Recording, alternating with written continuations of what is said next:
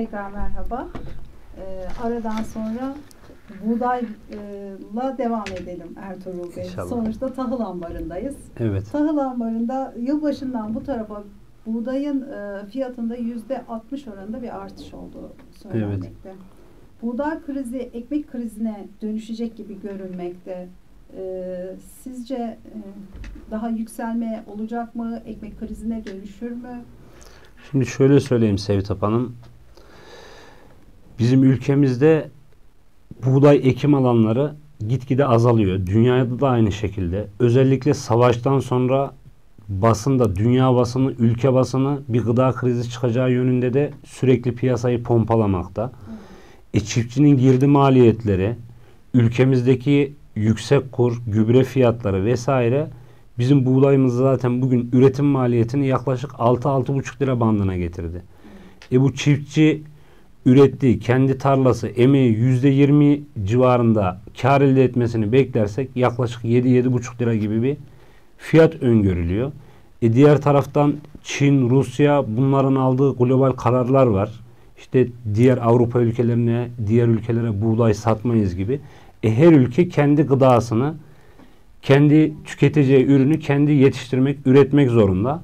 Türkiye'de bunun çabasını veriyor. Biraz gerideyiz ama durumumuz çok da kötü değil. Ülkemizde herhangi bir ekmek krizi veya gıda kıtlığı olacağı konumda benim öyle bir görüşüm yok. Olmaz inşallah. Ee, girdi maliyetleri maalesef bu konuda devletimizden büyük bir destek bekliyoruz. Ee, her geçen gün e, yakıta zam gelmekte. Yani e, geçmiyor ki haftada bir veya iki defa geliyor. Maalesef. Ee, çiftçiler için bu gerçekten ağır bir şey. Arazi sürmesi, elektrik faturaları keza yüksek geliyor. Ee, alım garantisini sağlamak da mümkün olmuyor. Ee, bunu kimse sağlayamaz. Hani devlet bir limit koyar. Ee, Siz de e, kuruluş olarak sağlayamazsınız. Ee, Bu konuda devletimizden büyük yardım bekliyoruz inşallah. Biz kendimize yetebilecek kadar büyük bir ülkeyiz. Kendi üretimimizi artırmak hedefimiz. Ee, hedefimiz kendi kendimize yetmek. Dışa bağımlı bir ülke olmamak. Evet. Bunu her e, programda özellikle vurguluyorum. Ee, vurgulamaya da devam edeceğim. Siz de e, bildiğim kadarıyla çiftçilerinizle de bu konuda e, görüşüyorsunuz, Evet. e, bilinçlendiriyorsunuz. Zaten bilinçli çiftçilerimiz gerçi ama e, yine de teşvik ettiğinizi biliyorum. E, Evet. siz de söylemiştiniz. E, İnşallah e, fiyatlar fiyatların artması çiftçiyi de mutlu eder. Çiftçi mutlu olursa sonuçta ticareti yapan sizlersiniz. Evet. E, çiftçinin mutluluğu sizin mutluluğunuz demek değil mi? Şimdi çiftçimiz para kazanamazsa bize zaten para kazandıramaz. Evet. E çiftçimizin kazanması için de yüksek verim alması lazım. E girdi maliyetlerini biraz dengelemesi lazım. Şimdi gübre fiyatları, mazot fiyatları hepsi üst üste bir dekarda ürettiği ürünü maliyetine satarsa bir zarar eder, iki zarar eder. E çiftçi tarafımız, üretim tarafımız biterse tamamen dışa bağımlı bir ülke haline geliriz. E Rusya çıkar yarın ben buğday vermiyorum. Diğer ülke çıkar ben bu gıdayı vermiyorum. Bu sefer emtia savaşları daha da hararetlenir. Ama bizim çiftçimiz üretirse ki çiftçilerimize biz çok güveniyoruz. Bilinçli, çok güzel çiftçilerimiz var. Onlarla da iç içeyiz. Çözüm ortağıyız aynı zamanda. Özellikle bakliyat üretimin noktasında hiçbir desteği esirgemiyoruz kendilerine. İnşallah üretimimiz bu sene bakliyatta tohum satışlarından takip ettiğimiz kadarıyla üretim biraz düşük kalacak ama mercimekte ve nohutta ümitliyiz. Evet. Bundan sonraki yıllarda dengelenerek gidecektir diye düşünüyorum. İnşallah, inşallah temennimiz o. Dünyadan geri kalmamak Evet. e, ve e, belli bir seviyeye kadar gelmek. Sonuçta e, yeni nesillere biz bu bakliyatın e, faydaları konusunda bir tüketici bilinci oluşturursak mükemmel olacak. Böyle bir bilincin olduğunu düşünüyor musunuz? Tüketici bilinci var mı acaba? Bakliyatta tüketici bilinci var.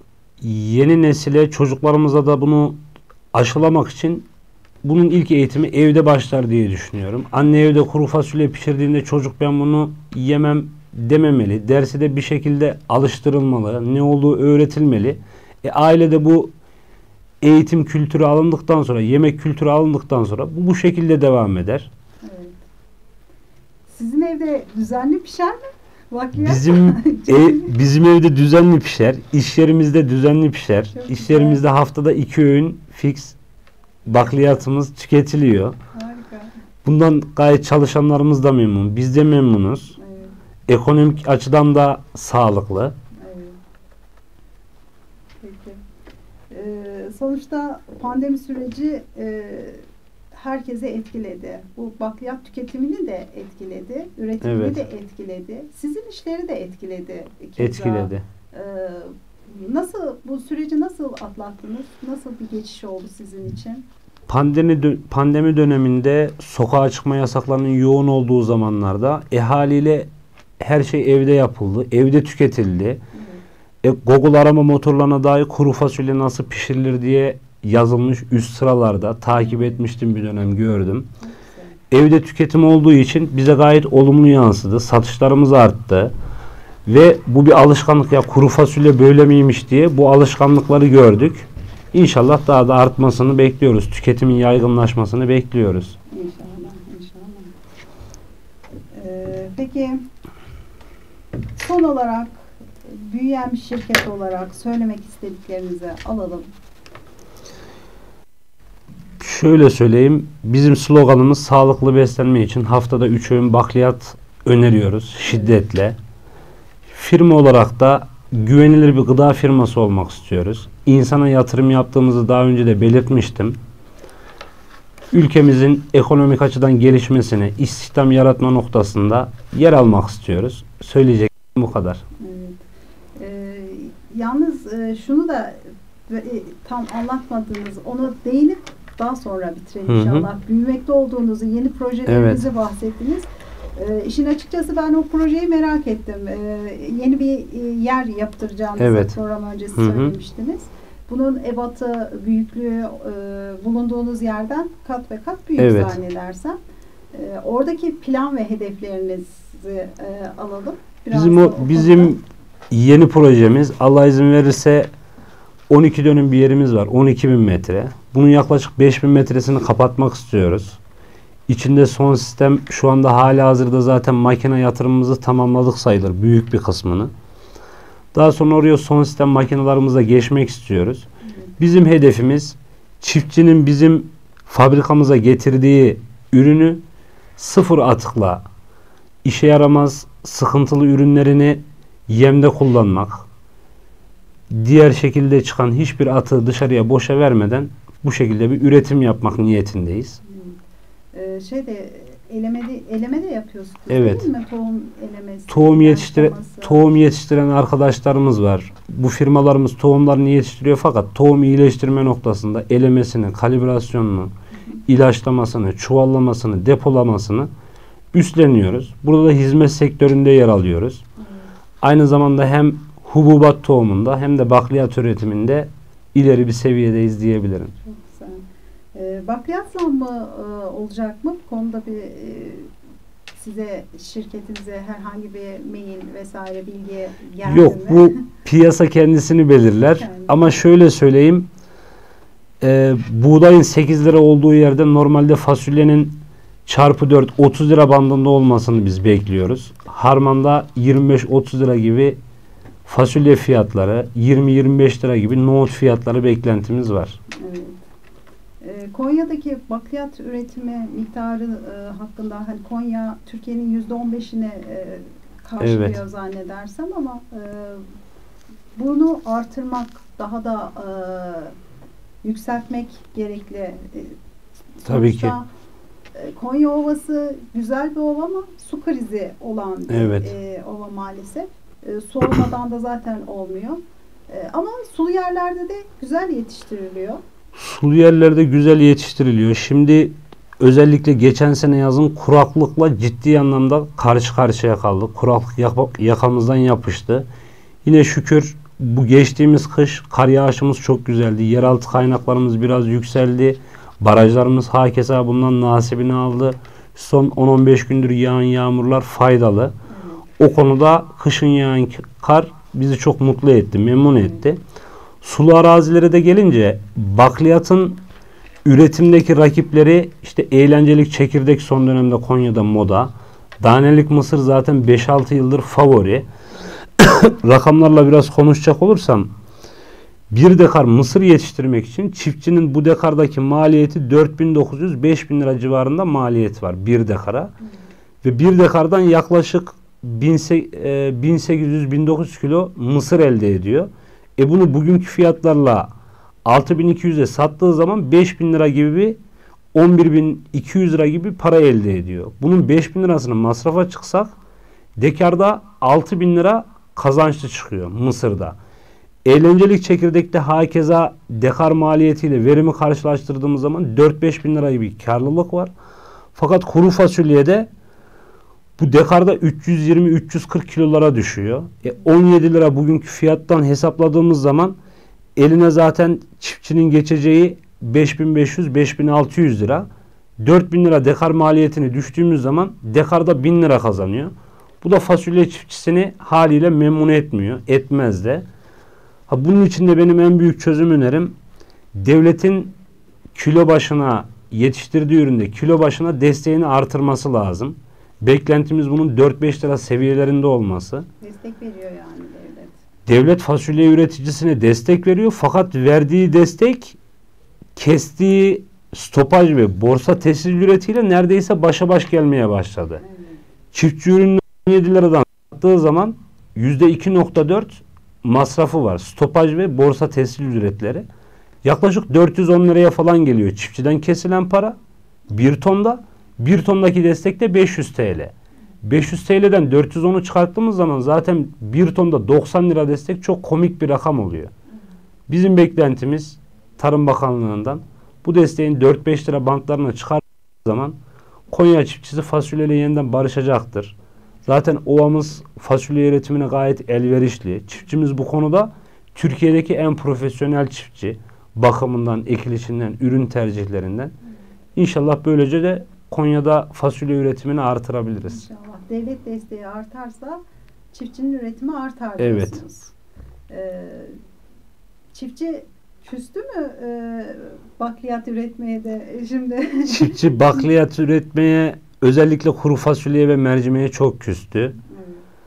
Bu fiyatların dalgalı olması, e, çiftçi üretmiş, 8 liraya mal etmiş, 9 liraya ürününü satmış, tonda 1000 lira kar çok komik. Çünkü fasulye üretimi, bakliyat üretimi gerçekten zahmetli.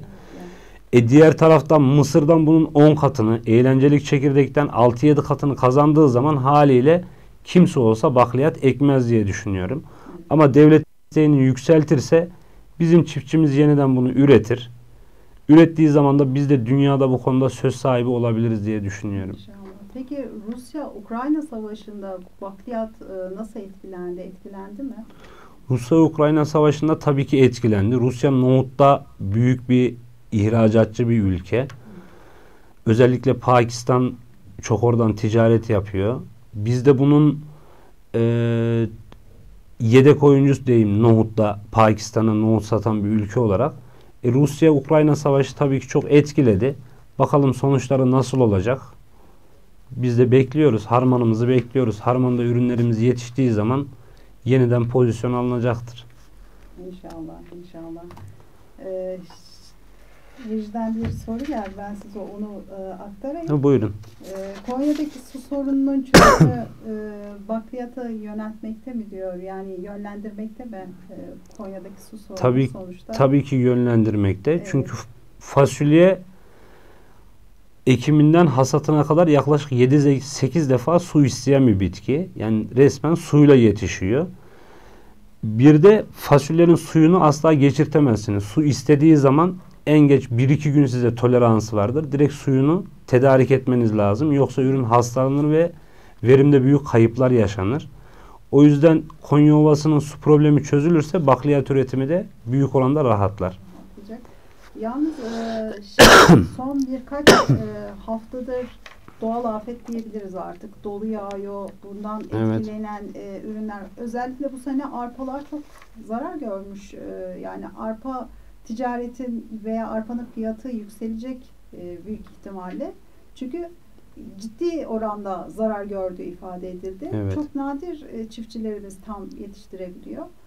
E, doğal afet vermesin e, Rabbim Amin. inşallah. E, sonuçta fasulyeler, nohutlar henüz daha yeni e, Evet. çıkmakta. Henüz e, öyle bir sorun zannedersem çiftçilerinizde Elhamdülillah yok. gelmedi. Bakliyat tarafında yok. Arpada biraz sıkıntılar var. Bölge çiftçilerinin hem bölgeyi kendimiz de geziyoruz. Bölge çiftçileri de günlük irtibat halindeyiz.